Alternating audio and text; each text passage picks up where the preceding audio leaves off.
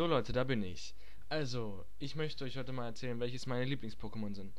Mit ähm, diesem Spruch habe ich mich gerade jetzt schon geoutet, dass ich Pokémon-Fan bin. Ich bin jetzt zwar kein Ultra-Pokémon-Fan und ich habe jetzt auch nicht so ultra Ahnung davon, wie zum Beispiel ein Suishomaru oder Domtendo, vielleicht ansatzweise so viel.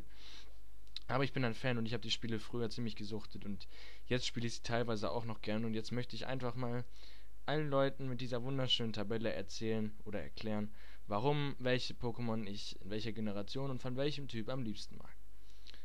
Die Pokémon sind aufgelistet in Typen und dann jede Generation. Die erste Generation mit Gelb, Blau und Rot, die zweite Generation mit ähm, Silber, Gold und Kristall, die dritte Generation mit Rubin, Saphir und Smaragd sowie Feuerrot und Blattgrün, die vierte Generation mit Pearl, Diamant, Platin, Hartgold und Soul Silver, die fünfte Generation mit Schwarz, Weiß und Schwarz und Weiß 2. Ähm, ich möchte dann gleich anfangen mit den Normal-Pokémon. Mein Lieblings-Normal-Pokémon aus der ersten Generation ist Pummeluff. Einfach weil es extrem niedlich ist und weil ich das früher, als ich Pokémon noch gar nicht richtig kannte, schon niedlich fand. Auch wenn es so ein bisschen das Mädchen- und Schwuchtel-Pokémon ist und eigentlich nicht wirklich stark ist, es einfach, es ist einfach toll und die anderen Normal-Pokémon der ersten Generation sind eigentlich relativ crap. Also nicht alle, aber ich, ich mag Pummeluff am liebsten. Ich wollte noch mal kurz erwähnen, dass ich Unlicht und Stahl in der ersten Generation gestrichen habe, da es sie da noch nicht gab. Und ähm, ich sage, die Favoriten sage ich alle am Ende. Ich gehe immer die Typen durch, also von Generation zu Generation. Und ganz am Ende, nach den legendären, sage ich dann auch die Favoriten jeder der jeweiligen Typen an. Und noch meine drei absoluten Lieblings-Pokémon. Mein Lieblingsnormal-Pokémon in der zweiten Generation ist Togepi, weil es einfach niedlich ist, auch wenn es nicht so viele Leute mögen. Ich finde es cool. Und ich habe es damals auch aus dem Ei schlüpfen lassen und gezüchtet. Dritte Generation Sengo. Das Gegenstück zu Vipitis, auch wenn die beiden eigentlich sich überhaupt nicht ähnlich sind. Ähm, ich finde Sengo persönlich viel cooler als Vipitis, obwohl Vipitis viel mehr Anhänger hat. Ich hatte noch nie einen Sengo, ich würde es gerne haben, aber naja, ich finde, es sieht einfach total cool aus, es ist extrem gut designt und ist auch nicht wirklich schwach. Also Sengo, bester. In der vierten Generation seht ihr hier Plauderguy. Ich ähm, finde Plauderguy einfach extrem witzig, weil er hatte diese tolle äh, Attacke, ich weiß gar nicht mehr, wie sie heißt. Ich weiß wirklich nicht mehr, wie sie heißt. Da habe ich Ewigkeiten dran gesessen, habe dem irgendeine. Sch also man konnte den Ruf ändern, indem man was gesagt hat. Das hat er dann mit einer extrem lustigen Stimme nachgesprochen. Das habe ich mich extrem drauf gefeiert damals. Ich weiß nicht wieso. Und ähm, da er normal Flug ist, konnte ich ihn in diese Gruppe mit reintun und da finde ich ihn einfach ziemlich cool. In der vierten Generation mein Lieblings-Normal-Pokémon. In der fünften Generation bereiten mir die Normal-Pokémon nicht unbedingt Kopfschütteln, aber sie sind nicht wirklich so, dass man so sagt, so, boah, Bombe. Also Terry Bark oder seine Weiterentwicklungen sind ja schon ganz geil. Aber ich finde den einzigen nennenswerten oder coolen normal, äh, normalen, der ist wirklich äh, Yorkclef, weil, weil er einfach einigermaßen niedlich ist. Und ähm, ja, mehr möchte ich dazu eigentlich auch gar nicht sagen. Also Yorkclef, fünfte Generation, bestes Normal-Pokémon für mich. So, ähm, nochmal ganz kurz dazu. Mit der fünften Generation habe ich mich nicht so auseinandergesetzt. Also ich habe sie gespielt, die weiße Edition. Allerdings nur die Pokéliga bis jetzt. Und ähm, mit den Pokémon kenne ich mich nicht gut aus. Ich kann sie einfach nur, manche kann ich sogar nur nach dem Aussehen beurteilen. Oder nach den Sachen, die ich über sie äh, auf bisafans.de Schleichwerbung gelesen habe. Und ähm, ich möchte jetzt einfach fortfahren. Bei den Feuer-Pokémon bin ich etwas enttäuscht über meine Auswahl, weil sich eigentlich, das seht ihr gleich, um was es sich für Pokémon handelt. Also, in der ersten Generation ist es Glumanda. Ähm, ich bin einfach nicht so wie alle anderen so ein Über-Glurak-Fan. Und ich wollte auch erst Glutexo nehmen, aber dann habe ich Glumanda genommen. Die erste Generation hat einfach nicht so viele Feuer-Pokémon. Und äh, all, allgemein hat Pokémon gar nicht so viele Feuer-Pokémon, wie man denkt. Und ähm, dann habe ich mich einfach für Glumanda entschieden, weil er putzig ist, weil er stark wird, ist und weil es einfach eins von den Pokémon ist. Zweite Generation, ein absoluter Burner, nämlich Tonopto. Ähm, er ist ziemlich stark, also meiner Meinung nach. Ich habe damals auch erst natürlich mit äh, Kanimani angefangen, dann habe ich nochmal gespielt, sowohl äh, Hardgold zu Silver als auch äh, Silber und Gold mit ähm, halt dann Tornupto am Ende. Und er, er gefiel mir wirklich ziemlich gut. Er hat ziemlich gute Attacken drauf, Flammrad zum Beispiel. ähm, ersten vielseitig gut, er ist ein Starter-Pokémon, da ist das eigentlich relativ oft. Aber er gefällt mir auch einfach vom Design her sehr gut. Und äh, in der zweiten Generation blieben da gar nicht so viele Möglichkeiten offen, sich noch ein anderes Pokémon auszusuchen. Und da ist, glaube ich, Tonupto schon die beste Wahl gewesen. In der dritten Generation haben wir Logok. Eine, die häufig beim Typ Feuer vorkommende Kombination, nämlich Feuerkampf, gefällt mir wirklich sehr gut. Gefiel mir natürlich bei einem anderen Pokémon noch besser, aber Logok war schon ein ziemlich geiles Pokémon. Ähm, auch wieder ein Feuerstarter-Pokémon, aber wie gesagt, nicht viele Feuer-Pokémon da. Und von den Feuer-Pokémon das ja eins der stärksten, eins der vernünftig aussehendsten und auch eins der schnellsten. Deswegen Logok. Generation 4 ist Panferno. Panferno ist genau wie Logok Feuerkampf und Panferno sieht einfach mega geil aus. Also ein Affe mit Feuer, der richtig gewalttätig ist, der richtig Stärke ausstrahlt, ist einfach ein richtig geiles Pokémon. Also Panferno wirklich. Äh, ich liebe Panferno einfach. Ich habe natürlich, ich, ich spiele immer erst mit Wasser-Pokémon wie. Das, nein, das habe ich mir nicht abgeguckt, das habe ich mir damals so angewöhnt.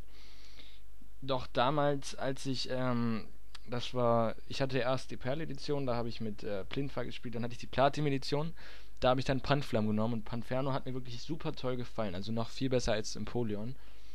Und ähm, den kann ich auch jedem empfehlen. Also ich kann jetzt ich habe jetzt keine Zeit und auch nicht wirklich so viel Ahnung, dass ich jetzt irgendwelche Movesets dafür so raushauen kann. Aber ähm, es gibt wirklich viele verschiedene Möglichkeiten, den auch zu spielen. Und er kann natürlich wie alle anderen äh, Starter auch äh, mächtige Attacken, dann zum Beispiel die Starter-Attacken wie Aquarobitze, Loe Kanonade und die, die gerade jetzt am wichtigsten ist, die fällt mir natürlich nicht ein, aber es ist Loe Kanonade, wollte ich gerade sagen. Fauna-Statue ist ja die Pflanzenattacke. Also Lohe Kanonade kann er erlernen und damit brennt er schon wirklich alles weg im wahrsten Sinne des Wortes. Also Panferno wirklich richtig geiles Pokémon. Naja, also die fünfte Generation, da wollte ich eigentlich auch Flambirex nehmen. Dann hätten wir den fünften Feuerstarter gehabt. Aber Flambirex sieht nicht so geil aus. Er ist einfach nur riesengroß und fett. Kann gut Brandstempel, ist ziemlich gut. Ähm, Nitroladung ist ziemlich gut ganz gute Attacken, mit dem ich, ich spiele auch mit Flambirex. Das ist das erste Mal, dass ich am Anfang das Feuerstarter genommen habe. Aber ich habe mich für Flampivian entschieden, weil äh, Flampivian ist ein interessantes Pokémon. Man weiß überhaupt nicht, was das ist. Also man kann sich mehrere Sachen darunter vorstellen. Es sieht geil aus. Ich habe es aber nie gespielt. Ich weiß sein Moveset nicht. Ich weiß seine Werte überhaupt nicht. Ich könnte jetzt nachgucken, aber nein. Da habe ich wirklich einzig und allein nach dem Design entschieden, weil ich nicht noch einen Starter haben wollte und weil ich irgendwie Flambirex in irgendeiner Art und Weise nicht so sympathisch finde. Ich weiß nicht warum. Okay, äh, weiter geht's jetzt mit dem nächsten Typ. Und der nächste Typ ist Kampf. Also mein Lieblingskampf-Pokémon ist nicht Macho Mai. Mein Lieblingskampf-Pokémon ist auch nicht Kikli, so wie bei den meisten, sondern Nocturne. Und nicht, weil ich ihn vom Design her besser finde. Nein, ich finde Kikli sieht doch ein bisschen cooler aus sondern Nocturne, weil er einfach Attacken wie Feuerschlag, Eishieb und Donnerschlag und so lernen kann. Und damit kannst du jedem Gegner auf irgendeine Weise auch äh, doppelten Schaden zufügen, auch wenn er keinen Step drauf bekommt. Deswegen ist es Nocturne. Capoeira in der zweiten Generation, da sich die Auswahl dort in Grenzen hält und ich ihn vom Design her am schönsten finde, ähm, ist es Capoeira. So, in der dritten Generation ein eigentlich relativ nerviges Pokémon. Es ist nämlich Makuhita. Ja, Makuhita. Nein, warum nicht Hariyama? Har Har äh, es ist Makuhita, weil Makuhita einfach aussieht wie ein kleiner Beutel mit Sand drin oder irgendwas anderem, der oben zugedreht wurde und nun eine Art Kampfsack ist. Ähm, ihr merkt schon, meine Laune hat sich deutlich verbessert. Ich bin jetzt nämlich gerade wieder frisch in die Aufnahme gestartet. Und ähm, ja, gestern war es ein bisschen müde, dunkel und jetzt ist es zwar noch äh, zwei Minuten später als eben, also eigentlich ist es immer noch gestern, heute, keine Ahnung. Aber ich habe gerade noch mal einen Schluck getrunken und meine Stimme äh, äh, richtig gemacht. Und jetzt kann ich nochmal voller Elan, damit es auch allen anderen Spaß macht, hier nochmal richtig reingehen. Also, Makuita, nettes, lustiges, lustig aussehendes und Kampf-Pokémon, wo man viel rein interpretieren kann, was mir in der Siegerstraße allerdings relativ oft auf die Nerven gegangen ist. Ähm, aber Hariyama ist noch schlimmer und viel hässlicher. In der vierten Generation haben wir Toxiquark, Toxiquack ist die Weiterentwicklung von Glibunke, welches sich auf Level 37 zu Toxiquack entwickelt. Äh, Toxiquack findet man, wie gesagt, in der vierten Generation, hauptsächlich im Großmoor, nachdem man den nationalen Pokédex erhalten hat. Und Toxiquack sieht ziemlich geil aus. Toxiquack ist ein Kampffrosch, genauso wie Glibunke. Und Toxiquack ist äh, mittelmäßig stark von den Werten her, also äh, einem Base-Wert von insgesamt 490. Allerdings kann Toxiquock Attacken wie Tiefschlag lernen oder Schmeichler. Falls das was bringen sollte, Toxiquack ähm, schlüpft nach 2560 Schritten aus dem Ei, hat eine Basiszufriedenheit von 70, besitzt eine Fangrate von 75 und kann als wildes Pokémon Giftschleim, äh, Giftschleim tragen. Aber nur zu 5%. Äh, Toxiquack bringt einen EV-Bonus von Angriff auf, äh, von 2 auf Angriff. Das ist doch toll, nein. Diese Sachen, stellt euch mal vor, ich würde bei jedem Pokémon diese ganzen Sachen nennen. Dann wären wir am Ende bei über 100 Minuten, da es über 110 verschiedene Sequenzen sind. Also Toxiquack, das beste Pokémon vom Kampf aus der vierten Generation. Weiter geht's. Die folgende Entscheidung ist mir gar nicht so leicht gefallen. In der fünften Generation musste ich mich entscheiden zwischen dem wunderbar aussehenden Caradonis. Mist, ich rede langsam schon sowieso schon mal, aber das will ich überhaupt nicht, weil ich eigentlich immer so rede, aber, naja, nicht immer, aber manchmal. Für die Leute, die mich kennen, oh, der redet gar nicht immer so. Das stimmt gar nicht, das sagt er nur. Ja, nicht immer, aber manchmal rede ich so. Vor allen Dingen, wenn ich alleine bin. Ähm, dann rede ich so. Also, die folgende Entscheidung fiel mich leicht. Ich musste mich zwischen dem wundervollen Caradonis entscheiden, den Theo überhaupt nicht mag, der die Weiterentwicklung von Geotesto ist, und zwischen Praktibike. Praktibike ist einfach geil. Ich habe mich deswegen für Praktibike entschieden, weil Praktibike ist ein komisches ver verädertes Ding, was mit einem Balken rumläuft und Praktibike heißt. Also auf Englisch heißt der Timbur oder Timber oder Timbur, was nichts mit Balken zu tun hat, blau, weiß ich doch, wahrscheinlich, aber hört sich nicht so cool an wie Praktibike.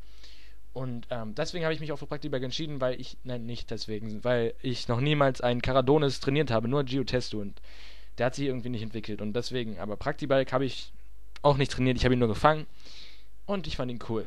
Und deswegen ist mein Lieblingskampf-Pokémon in der fünften Generation Praktibike. Kommen wir zu den Wasser-Pokémon.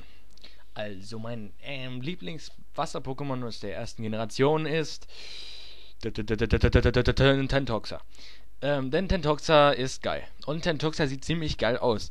Tentoxa ist die Weiterentwicklung von Tentacha. Tentacha entwickelt sich auf Level 30 zu Tentoxa. Tentoxa ist eine Art Qualle. Ich glaube, alle Leute, die dieses Video gucken, kennen auch Pokémon und wissen auch, wer Stentoxa ist. Wenn nicht, der kann auf bisafans.de nachgucken. Pokédex Nummer 0373.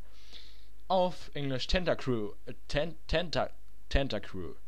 Oder auf Japanisch Doku Courage. Oder Yoko Courage. Oder keine Ahnung, irgendwie so ähnlich. Ähm, ist ein Wassergift-Pokémon, aber es ist sowas von eindeutig auch ein Wasser-Pokémon was ein, einfach hauptsächlich wegen seines Designs ähm, einfach mein mit mein mit, mit meinem Lieblingswasser-Pokémon und eins meiner Lieblingswasser-Pokémon der ersten Generation ist. Man kann es in jeder außer der fünften Generation auch fangen und das ist geil und es hat eine Basisstärke äh, von 515. Das heißt, äh, Toxicquack ist doch besser, was ich vorhin übersehen hatte. Ähm, Oh, und es, es ist gar nicht schlecht. Es hat einfach nette Attacken, vor allem viel mit Gift und Umklammerung und Wickeln und so. Das nervt, wenn man gegen das Pokémon kämpft. Im Wilden, aber es ist einfach geil. Vor allen Dingen bei Pokémon Battle Revolution, wenn man das in 3D sieht. Ja, Tentoxa, best. Äh, das beste Wasser-Pokémon aus der zweiten Generation ist richtig toll. Es ist nämlich Pokédex Nummer 171, nämlich, ja, ja, Lanturn. Lanturn ist ein Wasser- Elektro-Pokémon. Das bedeutet, es beherrscht äh, Wasser- und Elektroattacken. Und das bedeutet, dass die Schwäche gegenüber Elektro neutralisiert wird. Das ist toll. Ebenso wird die Schwäche gegenüber Boden neutralisiert. Das ist auch toll.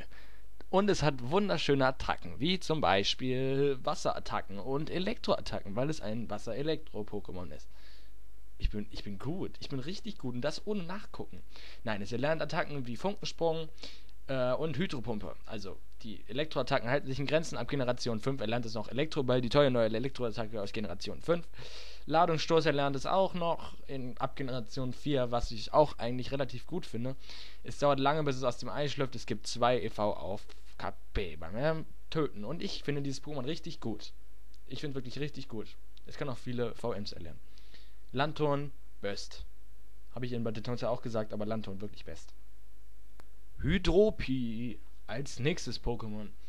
Hydropi ist das allerbeste Anfangs-Pokémon, was es jemals gab. Neben Panflam, aber es ist einfach das kompletteste Anfangs-Pokémon, was es jemals gab.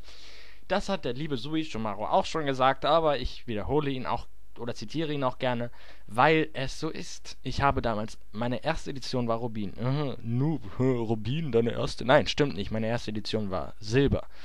Aber Rubin war meine richtige erste, die meine Mama mir zum Weihnachten geschenkt hat. Ja, ich bin noch nicht so alt. Aber ich bin älter, als ihr denkt. Ähm, Rubin, und da habe ich auch Hydropi genommen und Hydropi ist super. Hydropi, also habe ich jetzt genommen, weil Sumpex und Morabel ziemlich geil sind. So, aber Hydropi ist einfach total niedlich und deswegen habe ich jetzt ihn genommen und nicht Sumpex. Ja. Äh, ihr merkt schon, ich gehe gerade richtig auf, aber ich muss aufpassen, dass ich nicht extremst in den. Fakt dieses extremst war gerade extrem Suishimaru. In Suishimaru-Dings verfalle, weil ich im Moment nur diese Videos von ihm gucke. Das ist echt so, deswegen bin ich auch wieder aus so einem krassen Pokémon-Trip. Und ich muss aufpassen, dass dieses Video nicht viel zu lang wird. Und es tut mir auch leid, dass ich so viel übersteuere. Nächstes Pokémon. Generation 4. Mein Lieblings-Pokémon der Generation 4 ist Finneon. Er ist eine Erwähnung wert, da er schön aussieht, beziehungsweise es ist eine Erwähnung wert, da er schön aussieht, aber die vierte Generation lässt relativ viel zu wünschen übrig, was Wasser-Pokémon angeht, jedenfalls für meinen Geschmack. Also Finneon, vierte Generation. Und die fünfte Generation startet, äh, kommt mit äh, äh, Apokalyp, ja, Akku Jetzt habe ich aber völlig übersteuert. Apokalyp ist geil. Äh, okay, das hat er aber fast noch gar nicht gesagt. Eine völlig neue Beschreibung eines, eines, eines Wesens. Nein, Apokalyp ist, ist, ist einfach der Pringelsmann. Ja, ich weiß, das hat so wie Shamaro auch gesagt. Lasst mich doch alle in Ruhe, hört doch auf. Guckt doch seine Videos und nicht meine, oder guckt beide. Mir egal. Ähm, er sieht aus wie der Pringelsmann. Er hat einen extrem geilen Namen, Apokalyp. Und ich habe mich extremst gefeiert, als ich ihn das erste Mal gesehen habe. Er ist zwar nicht unbedingt eins meiner Favorites, aber in der Generation ist er cool. Und deswegen landet er hier auf der Liste. Juhu, jetzt geht es weiter. Okay, das beste Flug-Pokémon in Generation 1 ist einfach das Flug-Pokémon. Es ist nämlich Taubos. Ja, ich will mich kurz fassen. Es ist einfach Taubos. Weiter geht's. In Generation 2 ist es Papunga. Es ist auch ein Pflanzen-Pokémon, aber ich habe es zu den Flug-Pokémon getan, da ich in Generation 2 ein anderes Pflanzen-Pokémon bevorzuge. Papunga ist fluff flauschig, fluffig und flauschig und es ist ein Flug-Pokémon, deswegen auf dieser Liste. Bababa. Das war Suishumaru. Haha. ich werde diesen Namen kein einziges Mal mehr erwähnen in diesem Video. Versprochen. Aber ich werde es als Videoantwort unter sein Video posten. Boah, bin ich witzig. Nicht Schwalbos hat es auf Platz 1 der besten Flug-Pokémon auf Generation 3 gebracht, sondern ähm, Tropius. Weil Tropius, gut, Tropius hätte ich auch zu den Pflanzen tun können, aber nein. Denn Tropius ist ein Flugpflanze-Pokémon und bei den Pflanzen habe ich ein anderes Pokémon. Tropius ist äh, toll, ein Dinosaurier mit Blättern, mit denen er fliegt. Das muss man erstmal schaffen. Und mein Lieblingsflug-Pokémon auf der vierten Generation ist Staraptor, weil Staraptor einfach einen geilen Namen hat, gut aussieht, ein gutes Flug-Pokémon ist und die Auswahl auch relativ begrenzt ist. Deswegen Staraptor. In der fünften Generation im Molga, weil es so niedlich ist. es ist auch ein Elektro-Pokémon, aber ich habe es zu den Flügler, Flug, Flug, Flug-Pokémon getan. Emolga. Gutes Pokémon. Äh, nein, schwaches Pokémon, aber niedliches Pokémon. Ja. Wir kommen zu den Florzen-Pokémon. Flo Florzen-Pokémon, ja, genau. Florzen-Pokémon. Ja, auf Platz 1. Also, nein, nicht Platz 1, aber bei der ersten Generation auf Platz 1. Nicht Bisaflor, auch nicht Bisasam. Dann ist es Bisaknops. Lass mich erstmal ausreden. Also, in den ja gut, es ist Bisaknosp, bumm, eingeblendet. Aber das liegt daran, dass die anderen Pflanzen-Pokémon scheiße sind. Nein, nicht scheiße. Ich sage zu allen Pokémon scheiße, die nicht super toll sind. Und ich finde kein Pflanzen-Pokémon aus der ersten Generation super toll. Und Bisaknosp finde ich da irgendwie noch am besten. Weil Bisaflor so ein dickes, fettes, ekliges Vieh ist und Bisasam lame. Habe ich Bisaknosp genommen. Ja. Ich denke mir schon was dabei. Das nächste Pokémon ist Bluebella, weil sie mir einfach. Bumm. Och, Bluebella. Ja, dann nehme ich Bluebella. Bluebella ist cool. Zweite Generation Bluebella. Äh, Bluebella. Bella heißt ja auch sie schön und Blue heißt sowas wie Blume. Also Bluebella, die schöne Blume oder so. Bluebella. Ja, Bluebella. Als nächstes in der dritten Generation kommt Tuska. Tus. Das hat sich gerade angehört, Junge, weißt. Tuska, ja, Tuska ist nämlich niedlich. Tuska habe ich vor allen Dingen im Anime lieben gelernt. Ich habe das Anime nämlich in der, vor allen Dingen so in der sechsten Klasse, bin ich nach der Schule mal nach Hause gekommen und da lief dann immer Pokémon. Da habe ich mir so gut, also ich bin ja mit dem Bus erst um zwei zu Hause gewesen, das muss man sich mal vorstellen. Und dann habe ich immer Pokémon geguckt und dann lief da gerade äh, die dritte Generation. Ich weiß nicht, ob es neu war oder Wiederholung, ist ja auch völlig unwichtig. Und da war mal Tuska, der ihm immer voll in die Fresse gesprungen ist, also James. Und deswegen fand ich Tuska niedlich. Außerdem habe ich beim RPG Maker XP eine Pokémon-Edition gestartet, die wahrscheinlich irgendwie auf Tuska aufbaut. Die heißt nämlich Kaktus-Edition. Ja, ich bin kreativ. Mal sehen, was daraus wird. Aber äh, ja, jedenfalls Tuska, dritte Generation, top. Top. Killer. Top. Dann kommt als nächstes Venoflibes. Äh, Venoflibes ist. Also, wirklich. Venoflibes sieht mega pflanzig aus also wie ein Pflanzen-Pokémon auszusehen hat. Es hat den geilsten Namen, den ich jemals gehört habe, jedenfalls auf Deutsch. Venoflibis. Also Veno. Jetzt habe ich das schon wieder so ausgesprochen, wie der dessen Namen nicht genannt werden darf. Also nein, wirklich jetzt. Venoflibis ist cool. Venoflibis hat, also man kann dieses I so richtig lang sehen. Venoflibis hat einen richtig coolen Namen und sieht auch richtig gut aus die Attacken sind ganz okay. Also ich habe Venoflibis einmal gehabt und mit meinem Kumpel damals, als ich noch relativ jung war, ja, die Pearl-Edition ist schon 2007 rausgekommen, haben wir ständig Venoflibis gesagt, weil wir nichts Besseres zu tun hatten. Und ja, wir waren dämlich, als wir klein waren. Venoflibis Beste. So, die fünfte Generation hat mich dann wieder relativ äh, zuverlässig enttäuscht. Und das einzige Pokémon, was ich, wo ich die Ehre hatte, zu trainieren von den Max Cheetahs, Viech, war Vegimak und Vegimak fand ich ganz cool. Ich habe ihn irgendwie eine Zeit lang dann wieder nicht trainiert. Dann doch, dann ist er zu Vegishita geworden. Er ist immer noch scheiße. Nein, ist er nicht, aber Vegimak war cooler und Vegimak ist das einzige Pflanzen-Pokémon in der fünften Generation, was ich zumutbar oder liebenswert finde. Also wirklich liebenswert. Kommen wir zu den Gift-Pokémon. Die mag ich überhaupt nicht. Ja, hä, was? keine Gift-Pokémon? Bist du behindert? Nein, Gift-Pokémon sind lahm. Gift könnte man viel brutaler und gemeingefährlicher machen, aber egal, mein Lieblings-Gift-Pokémon ist eigentlich ein klassisches Käfer-Pokémon. Ich habe es aber zu den Gift-Pokémon gepackt. Es ist tatsächlich Bibor. Bibor mag niemand, Bibor ist total unwichtig, Bibor ist schwach. Bibor ist aber eine Killerbiene, die auch ganz gut aussieht eigentlich. Man könnte aus ihr viel mehr machen. Aber wenn man vernünftig trainiert auf DV und EV, dann kann man aus Bibo genau wie aus Medbo, einige Leute haben da schon bewiesen, auch ein vernünftiges Kampf, äh, nein nicht Kampf, aber eine vernünftige Kampfmaschine, ein gutes Pokémon herzüchten. Also Bibor, erste Generation, bestes Gift-Pokémon.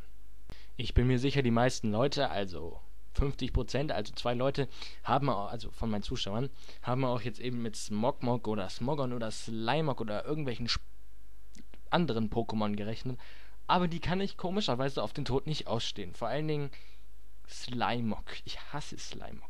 Also, wirklich. Und ich mag fast alle Pokémon irgendwie.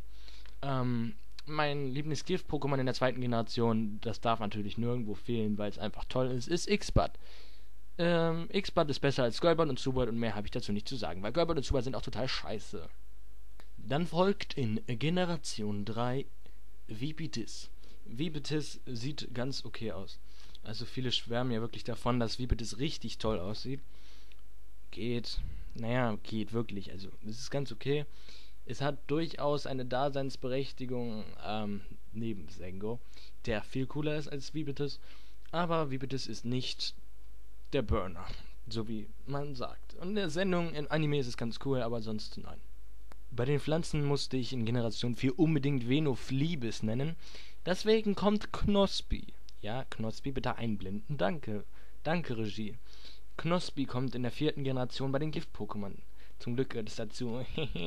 Denn Knospi ist unglaublich süß. Knospi ist eins der tollsten Pokémon aller Zeiten. Nein, ist es nicht, aber es ist toll. Und deswegen ist es auch in dieser Tabelle. Knospi, total niedlich, total toller Ruf, aber schlecht. Egal. Es geht ja um meine Lieblings-Pokémon und nicht um die stärksten. Nun, meine Damen und Herren, folgt das absolut epischste Pokémon, was sich die Entwickler der fünften Generation ausdenken konnten. Theo weiß ganz genau, was ich meine. Es ist nämlich die wandelnde Master-Mülltüte Unratütox mit der extrem geilen Weiterentwicklung. Jetzt habe ich den Namen vergessen. Ja, er ist mir entfallen. Er war so toll. Nein, wie hieß denn die Weiterentwicklung? Warte. Din, din, din, din, din, din. Deponitox. Sieht richtig aus, richtig wie ausgekackt. Aber egal, Unratütox ist der Hammer. Also Unratütox. Ich habe jetzt mehr eins gefangen. Das werde ich jetzt auch langsam anfangen zu trainieren. Unratütox ist der Hammer, wirklich. Also das müsst ihr euch unbedingt fangen. Es, sieht, es ist einfach eine Mülltüte. Es ist einfach Unratütox. Es ist eine Mülltüte. Es ist. Lest euch bitte den Pokédex-Eintrag durch. Dankeschön. Ich bedanke mich wirklich herzlich bei für Ihre Aufmerksamkeit. Nun die Elektro-Pokémon, ja? Das Lieblings-Elektro-Pokémon vom Predator, also von mir, von Calvin, ja, alle wissen, dass ich so heiße, ist standardmäßig mm, das Pokémon mit der Pokédex Nummer 25. Jetzt denkt mal nach.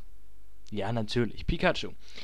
Äh, ich bin Mainstream und ich mag Pikachu, weil Raichu ist hässlich, ist zwar stärker, aber Pikachu muss man einfach mögen, wenn man die Sendung geguckt hat. Und deswegen ist Pikachu mein Lieblings-Pokémon der ersten Generation vom Typ Elektro. Schon wieder 30 Sekunden verbraten. Ich hätte auch einfach sagen können, Pikachu. Und dann wäre ich fertig gewesen. Aber egal. Bis dann. Ach nein, es geht ja weiter. Hm. Danach kommt Ampharos. Voltilam und Vati sind schon cool, aber Ampharos ist der stärkste ich, man fängt meistens wirklich ein, ein, ein Voltilam und es entwickelt sich zweimal bei zwei Level anstiegen und dann hat man einen Ampharos. Und Ampharos ist wirklich ein gutes Elektro-Pokémon. Ja, ist wirklich so. Generation 3, nein, nicht Voltenso, auch nicht die Fritzelblitz, Entschuldigung. Nein, ganz schlicht und ergreifend ist es Minon, weil Minon besser ist als bloß Nein ist es nicht, aber Blau ist besser als Rot. Also Minon. Vierte Generation Luxtra elegant, elegant, ja? Luxtra stark, elegant. Und deswegen mein Favorit in der Generation. Und zum Schluss noch ein super tolles Pokémon, nämlich Voltula. Voltula ist ein Käferinsekt-Pokémon, was Käfer- und Insekten-Pokémon beherrscht. Ich spiele es gerade auf der weißen Edition. Und es kann zum Beispiel Attacken wie Ampelleuchte, die relativ stark ist und auch noch cool aussieht, ähm, obwohl die falsche Reihenfolge hat. Ja, die Ampeln haben eigentlich eine andere Reihenfolge. Und ähm, dann kann es noch Elektronetz, was die Initiative des Gegners senkt. Und ich spiele es dann noch mit Elektroball. Das heißt, ich senke die Initiative des Gegners und Elektroball verursacht mehr Schaden, je höher die Differenz der Initiative ist. Also sozusagen, wenn dein Pokémon eine viel höhere Initiative hat als das gegnerische Pokémon, ist, dein, ist die Attacke viel stärker. Dann setze ich zweimal Elektronetz ein, falls der Gegner dann immer noch nicht tot ist. Elektroball, boom, tot. Also super. Voltura top. So, die Boden-Pokémon. Mein Lieblings-Boden-Pokémon ist Rizeros. Ja, also in der ersten Generation ist es tatsächlich Rizeros. Ähm, ich musste mich dazwischen zwei Pokémon entscheiden. Ich sage jetzt nicht welche.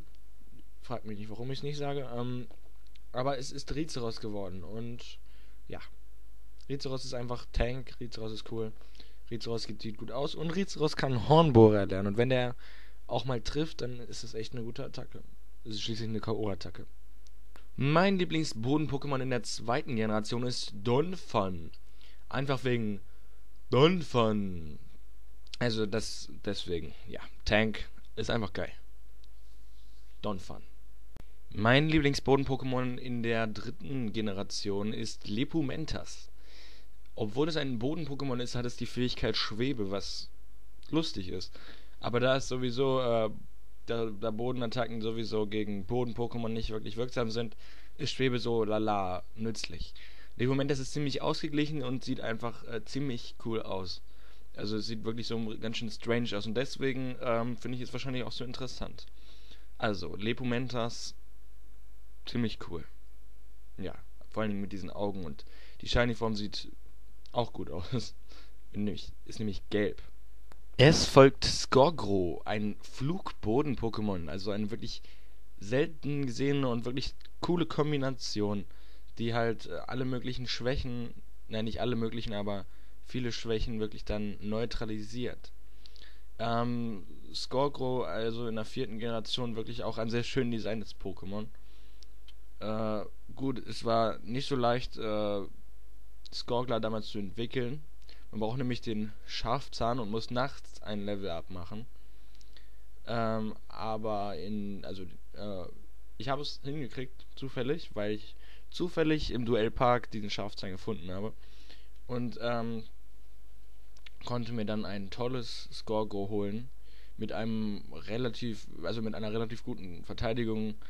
äh, nicht so tollen Spezialangriff und mittelmäßiger Spezialverteidigung, aber alle mal in Ordnung und ähm, die Attacken waren sehr gemischt, also von Feuer, Gift, Unlicht, Flug, alles dabei und deswegen Scarecrow mein Lieblings-Pokémon vom Typ Boden in der vierten Generation. Oh, ich sag das am Ende nochmal für die Leute, die es nicht verstanden haben. Das nächste Pokémon ist Flunschlik oder Flunschlik. Äh, ein Boden-Elektro-Pokémon, eine ziemlich coole Kombination. Es sieht cool aus und es kann Sprungfeder. Es ist also ein, eine Fußsohle, ein Plattding, was springt und das finde ich ziemlich lustig. Also Flunschlik, fünfte Generation, bestes Boden-Pokémon. Nun die Psycho-Pokémon. Die Psycho ist mein Lieblingstyp im in Pokémon mit Elektro, aber Psycho ist noch eine Nummer cooler und ähm, mein Lieblings-Psycho-Pokémon in der ersten Generation ist das Psycho-Pokémon schlechthin. Es ist nämlich Simsala. Simsala hat mich ein bisschen angekotzt, dadurch, dass ich es auf einem Emulator gespielt habe, konnte ich es erst nicht entwickeln, bis ich dann rausgefunden habe, wie es geht. Ja, jetzt denken alle, Noob, aber es war auf dem Handy. Und dann habe ich da doch die Funktion gefunden. Jetzt habe ich endlich ein Simsala und das ist stark. Und ähm, ja, Simsala hat einfach durch seinen extrem geilen Spezialangriff richtig die Möglichkeit, äh, alles mit Psychokinese wegzubashen. Und deswegen Simsala. In der zweiten Generation das wohl geilste Pokémon überhaupt. Wohin genau? Wohin genau? In der, Im Anime einfach äh, göttlich und es kann Abgangsbund erlernen und deswegen war es auch teilweise im äh, Spiel relativ nützlich. Wohin genau? In der dritten Generation natürlich, wie bei fast jedem, da eins der schönsten designten Pokémon aller Zeiten, nämlich Gardevoir. Ich habe früher, als ich klein war, immer Gourdefoy gesagt oder so. Ich weiß nicht warum, aber das wollte ich jetzt mal ganz kurz einbringen hier. Gardevoir wirklich ein wunderbares Psycho-Pokémon. Ähm, nur, ich finde zum Beispiel die Vorentwicklung Curlia ist einfach viel zu weiblich, als dass man es als männliches Pokémon machen sollte. Deswegen finde ich, Gardevoir sollte äh, nur weiblich sein da man ja bei der männlichen Form ein anderes Pokémon hat. Aber Gardo war jedenfalls super tolles Psycho-Pokémon. In Generation 4 haben wir Galagladi. Galagladi ist eine später eingefügte Weiterentwicklung von Kirlia mit einem Funkelstein und nur wenn es männlich ist, kann es sich zu Galagladi entwickeln. Ein wirklich tolles Pokémon. Also entweder man spielt es auf Kampf, dann hat es tolle, äh, super tolle Attacken. Also ich will jetzt keine Beispiele nennen, ich weiß jetzt gar nicht genau. Zornklinge, aber Zornklinge ist total scheiße. Laubklinge zum Beispiel fand ich immer sehr toll. Ähm, aber man kann es auch super als äh, Fang-Pokémon benutzen. Zum Beispiel mit Trugschlag. Ich habe Galagladi erst, ehrlich gesagt damals das erste Mal in der Pokeliga gesehen, in der vierten Generation, und ich fand es einfach klasse. Und deswegen, also weil Galagladi wirklich eins der, eigentlich mit eins der besten oder tollsten Pokémon für mich ist, weil ich es einfach vom Design her total toll finde, ist es auch in dieser Liste. In der fünften Gen Pygraulon, da ist mein einziges Psycho-Pokémon, was ich in dieser Gen gespielt habe. Ich fand es extrem schwach, aber von Design ganz toll und ich habe es irgendwie in mein Herz geschlossen. Pygraulon, ja. Ich weiß nicht, die Weiterentwicklung habe ich bis jetzt noch nicht gehabt. Oder doch, habe ich. Aber, nee, habe ich nicht. Ein Level fehlt noch, ja. Mein Lieblingsgestein-Pokémon der ersten Gen ist das super tolle Geowatz. Ein wirklich schönes Pokémon und äh, ein sehr starker physischer Angriff und eine gute physische Verteidigung. Deswegen mein Favorit. In der zweiten Gen ist es das wunderbare Despota, was ja auch ein Unlicht-Pokémon ist. Allerdings habe ich es zu den Gesteins-Pokémon gepackt. Es ist einfach extrem geil, es ist richtig cool designt und es ist eins meiner absoluten Favoriten, was Pokémon angeht. Jetzt habe ich schon mal vorweggenommen. Despota ist einfach klasse. Despota hat aber außer dem Kinofilm viel zu wenig Entschuldigung, ich hab, muss mal kurz was trinken gleich, Aufmerksamkeit bekommen. Deswegen, aber egal. Mein Lieblings-Pokémon der zweiten Gen vom Typ Gestein. Ich habe bemerkt, dass ich mich jetzt etwas kürzer fassen muss, deswegen. In Gen 3 ist es nass genäht oder nass genäht, einfach wegen seinem tollen Design. In der vierten Gen ist es Rehornua, weil es einfach extrem tankmäßig ist, also richtig fett und richtig viel stärker ausstrahlt. Oder auch im Englischen Rhyperior, wollte ich mal ganz kurz erwähnen. Äh, entwickelt sich leider nur beim Tausch mit, äh, mit dem Item. Ne, warte, warte, was im Item? Mit dem Schützer. Ja, mit dem Schützer. Ähm, ja, ist ein bisschen blöd, aber es hat einen extrem hohen Angriff, eine extrem hohe Verteidigung, viel KP, ist aber lahm und hat extrem schlechte Spezialwerte.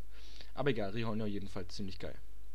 Da ich in der fünften Generation, äh, Generation, Generation mal wieder alle Gesteins-Pokémon irgendwie kacke fand, obwohl ich Castellit ganz lustig finde mit dem dicken Brocken, äh, habe ich mich dann allerdings für Brokkolos entschieden, weil es die Weiterentwicklung von Sedimantor ist, mit dem ich auch selber gespielt habe. Und Brokkolos sieht vom Design her ganz cool aus. Deswegen Brokkolos. Mein Lieblings-Eis-Pokémon in der ersten Gen, Austos. Nicht wirklich gute Spezialverteidigung, aber es sieht einfach cool aus. Il mio preferito Pokémon di tipo Ghiaccio nella generazione 2 è Swinop. Also Queekle. Das ist ein, äh, ist einfach ein wirklich sehr niedlicher Klops. Also äh, ein niedliches kleines Wildschwein, was aussieht wie eine Wollkugel.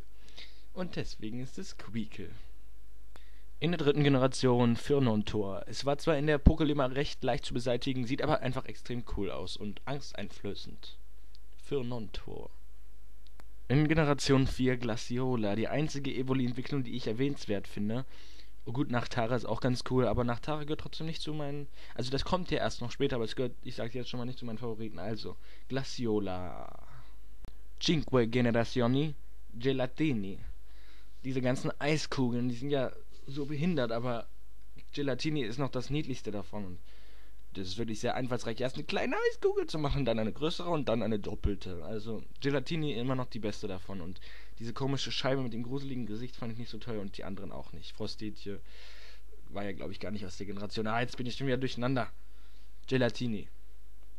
Die Käfer-Pokémon mache ich jetzt mal ganz schnell, weil sie nicht so wichtig für mich sind und weil äh, sie ganz schnell gehen müssen. Also, als erstes Pinsir. Dann das wohl übermächtigste Stahl, äh, Käfer-Pokémon, ja, Stahlkäfer-Pokémon und eins der beliebtesten schlechthin, Sherox. In Generation 3 das wohl beste und das coolste Käfer-Pokémon von allen, natürlich Schaloko. Was? Schaloko? Ja, Schaloko. Nein, auch nicht Panekon, Schaloko. Fragt nicht bitte, es ist einfach so. In der vierten Generation Türpeise, weil es einfach... Was, Türpeise? Siehst doch so, ja, genau. Ähm, weil es einfach den coolsten Ruf von allen hat und weil man es bei diesen ähm, tollen Design-Shows einfach so geil designen konnte mit seinem Riesenbart. Ich habe eigentlich alle Pokémon-Wettbewerbe mit Surprise gemacht. Ja, Surprise. Und in der fünften Gen, da ist bei den Käfer-Pokémon nicht dabei geworden, weil es einfach total niedlich ist. Watzapf. So, nun kommen die eigentlich ziemlich beliebten Drachen-Pokémon. In der ersten Generation, weil es da fast keine gab. Dragonier, weil ich Dragoran irgendwie hässlich finde. Fragt nicht. Okay, es fragt sowieso keiner, aber bitte fragt trotzdem nicht. Selbst wenn ihr es machen wollt. In der zweiten Generation gab es ja nur äh, Sedra King und deswegen ist das natürlich auch. Obwohl ich Sedra King an sich auch ganz cool finde, weil er eigentlich fast keine Schwächen hat. Naja. Ich habe ihn jedenfalls gehasst, als ich ihn, gegen ihn in der Pokeliga gekämpft habe. In der dritten Droschel. Ja, Draschel, weil nicht Brutalandra, nicht Kindwurm, und auch nicht. Oh, jetzt habe ich den Namen von dem anderen vergessen. Ja, oh, ich darf, darf ich gar nicht sagen. Dann denken alle, was? Namen vergessen von Pokémon? Hm. Und dann auch noch aus der dritten Gen. Also Brutalandra auf jeden Fall nicht, sondern Drasche, weil einfach, ich meine, guckt es euch an, es ist einfach total cool. Und es ist mal was anderes. Eine Klopapierrolle oder so. In der vierten Gen ist es Knackrack. Normal, Standard, eins der mächtigsten Drachen-Pokémon von allen. Es ist groß, es ist stark und es ist Knackrack. In der fünften Generation ist es nicht Trigefalo, wie jetzt viele erwartet hätten. Nein, es ist Chadrago, weil es vom Design her einfach irgendwie ziemlich cool ist mit seinem roten Kopf. Und weil es äh, eine sehr coole Fähigkeit besitzt. Also besitzen kann, nämlich rohe Gewalt. Nämlich der Angriffswert wird erhöht und ein möglicher Nebeneffekt von einer Attacke wird aufgehoben. Das mögen viele vielleicht nicht gut finden, aber ich finde das cool. ja. Nun, die Geist-Pokémon. Ja, mein Lieblingsgeist-Pokémon ist nicht Gengar. Ach, dann ist es bestimmt ein Nibulak, weil Nebulak auch wieder mal ganz anders aussieht. Nein, es ist aber Alpollo. Weil Alpollo, also Haunter, vom Design her einfach ziemlich cool aussieht. Es sieht angsteinflößend aus, es, nicht, es kann nicht laufen, es ist ein fliegendes Etwas. Und es ist auch nicht schwach. Also natürlich lasse ich es zu Gänge entwickeln, wenn ich die Möglichkeit habe, aber ich mag Alpollo lieber. In der zweiten, weil es kein anderes gab, Traunfugil. In der dritten Generation Schuppet. Ich fand Subiris zwar auch ganz cool oder Banette, aber ich weiß, wirklich Banette, glaube ich. Aber Schuppet fand ich einfach niedlich. In Generation 4, einfach wegen der guten Idee und dem lustigen Aussehen, Krippuck. Und da mir leider nichts anderes übrig blieb in der fünften Generation, Lichtel. Ja, es ist nervig, es ist schwach, aber es ist immer noch toller als seine anderen Kerzenbrüder. Äh, in Generation 1 lassen wir den Typ Unlicht aus. In Generation 2 ist es Sneebel. Sneebel ist auch ein Eis-Pokémon, aber ich habe es so Unlicht getan. In Generation 3 ist es das extrem coole Absol. Absol gefällt mir wirklich ziemlich gut. Auch vom Design her. In Generation 4 Skunkapu oder auf Englisch Skunky ist ein extrem niedliches kleines Ding und äh, Stinktier und ich fand es einfach besser als die Weiterentwicklung Skuntank. Deswegen Skuntank, Junge. Ähm, deswegen ist es Skunkapu oder Skunkapu oder keine Ahnung. Und da ist der beliebte, designtechnisch richtig coole Drache aus der fünften Generation, nämlich Trikefalo. Als bestes Unlicht-Pokémon der fünften Generation. Das coolste Stahl-Pokémon der ersten Generation, äh, der zweiten Generation, Entschuldigung, äh, ist ähm, Panzeiron. Panzeiron, ein cooler Stahlvogel, echt cooles Design, gute Idee, finde ich top. Top. In der dritten Gen ist es natürlich Metagross, weil Metagross einfach mega mächtig ist und meta groß ist. Entschuldigung. Ähm, Metagross ist einfach extrem stark und extrem cool und ich mag es einfach total gerne. Metagross. In Generation 4 das ebenso tolle Lucario, weil es einfach designtechnisch total toll ist. Es ist einfach cool. Es, es passt einfach. Es ist auch im Film, den ich zum Teil geguckt habe, auch sympathisch. Also Lucario ist echt toll. Ist auch ein Unlicht-Pokémon, aber ich habe es natürlich, weil Skankapu muss ja unbedingt drin sein bei Unlicht, zu steil getan. Oh, tut mir leid, sagte ich gerade Unlicht? Äh, nein, Kampf. tut mir leid. Dann kommt Gladiantri in der fünften Generation. Sieht zwar ziemlich cool aus, aber sieht eher aus wie irgendeine Figur von einer Yu-Gi-Oh! Karte. Aber vom Design her einfach extrem cool. Ich habe es leider noch nicht gespielt, aber ich finde es extrem geil. Und wir kommen schon zu den Legenden. Auch wie schnell das alles so geht. Okay, was heißt schnell? Wir sind bestimmt schon. Ah ja, wir sind schon über 40 Minuten, also ganz schnell. Ja, mein Lieblings-Pokémon, äh, legendäres Pokémon in der ersten Generation ist lamerweise, äh, natürlich, nein, was heißt natürlich? Mewtwo. Ja, ich finde ihn einfach klasse, weil es ein Psycho-Pokémon ist, das extrem geil aussieht. Ein bisschen cooler ist als Mew irgendwie, ich weiß nicht warum. Keine Ahnung. Ich war nie der Mew-Typ, ich war immer der Mewtwo-Typ. Weiß nicht. Mewtwo ist einfach ist einfach cool. In der zweiten Generation haben wir eins der coolsten legendären Pokémon überhaupt, Lugia. Lugia ist einfach toll. Lugia sieht total toll aus. Lugia kann fliegen, Lugia kann surfen. Lugia ist besser als Ho-Oh und äh, Lugia hat total den coolen Ruf. Lugia. In der dritten Generation ist es nicht die Hierarchie, weil es ist zwar süß, aber ich habe dann mich nie mit befasst. Es ist tatsächlich Deoxys. Oder Deoxys. Weil Deoxys ist ein vielseitiges Pokémon. Deoxys ist ein mysteriöses Pokémon und Deoxys hat auch einen geilen Namen. Deoxys. Also ich nenne es Deoxys, nicht Deoxys, Deoxys. Ja. In der vierten Generation habe ich tatsächlich erst darüber nachgedacht, Darkrai zu nehmen. Darkrai ist, strahlt Dunkelheit aus, Darkrai ist cool, aber am Ende habe ich mich dann doch, weil ich es einfach total geil finde, für die fucking Mother of Pokémon entschieden. Ja, natürlich, Arceus. Oder Arceus. Ich nenne es aber Arceus. Arceus kann seine kann seinen Typ ändern. Arceus hat die höchsten Statuswerte von allen und Arceus sieht geil aus. Und es, ich habe es damals gefangen. Ja, ich habe es gefangen. Arceus. Beste. In der fünften Generation fiel es etwas schwieriger. Also, erst wollte ich Sekrum nennen, aber Sekrum ist nicht so spektakulär. Oh, da war die Tür gerade zugeknallt. Sekrum ist nicht so spektakulär. Am Ende habe ich mich für Kyurem entschieden. Kyurem sieht cool aus. Kyurem wird noch weitere Designs erhalten. Und Kyurem hat auch einen geilen Namen eigentlich. Also so wie Kyogre oder Kyogre, Kyogre oder keine Ahnung, wie es die Leute nennen. Kyurem oder Kyurem oder... Jedenfalls er. Hm? Kyurem. So, und wir kommen auch schon zu meinen Favoriten. Also, mal gucken, wie viele ihr mitraten könnt von dem, was ich bis jetzt gesagt habe. Also, ob ihr da auch drauf gekommen wärt. Mein Lieblings-Normal-Pokémon ist Pummeluff. Mein Lieblingsfeuer-Pokémon ist Panferno, weil es einfach extrem geil ist. Mein Lieblingskampf-Pokémon ist Toxiquack. Mein Lieblingswasser-Pokémon ist Lanton. Mein Lieblingsflug-Pokémon ist Taubos. Einfach Taubos. Wie gesagt.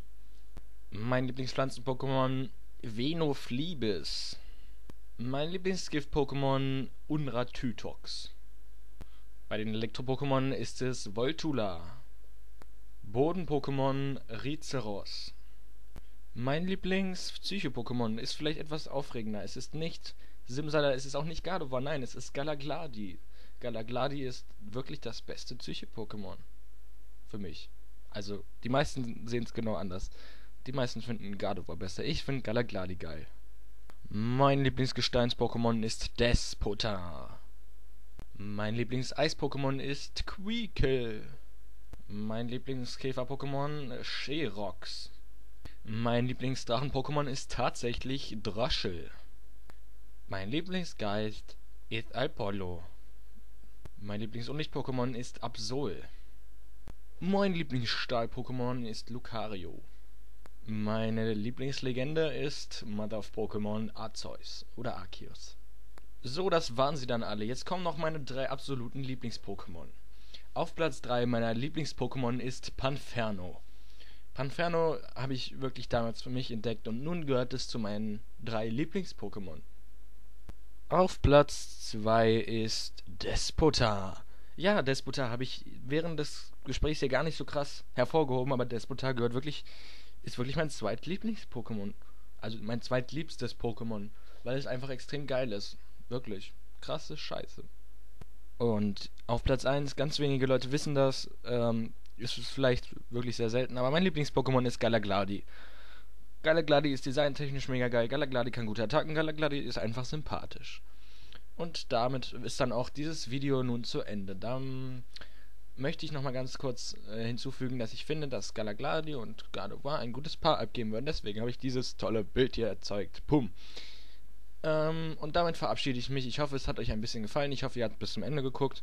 Und ich hoffe, ihr habt interessante neue Sachen über mich gelernt. In Zukunft werde ich vielleicht bald mal ein Pokémon Let's Play raushauen, wenn sich andere Leute damit einverstanden erklären. Und ähm, ja, haut da rein. Bis dann und wenn ihr möchtet, könnt ihr dieses Video liken, abonnieren. Ähm, ich habe das noch nie gesagt, oder? Und verbreiten. Aber ihr müsst nicht. Ich meine, wieso auch. Ähm, okay, ich wünsche euch noch einen schönen Tag und haut rein, euer Predator.